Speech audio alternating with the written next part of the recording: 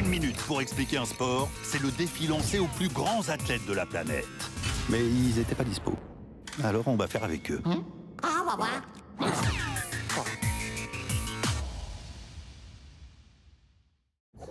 En natation, on dirait pas, mais il y a plein de manières de se faire éliminer. À vos marques Si on bouge d'un millipoil avant que le starter ne retentisse, on est éliminé. En relais, si on part avant que son coéquipier ne touche le mur, éliminé.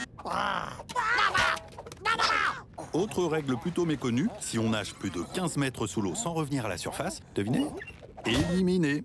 On irait plus vite, mais le public ne verrait rien. Alors ben, euh, c'est interdit.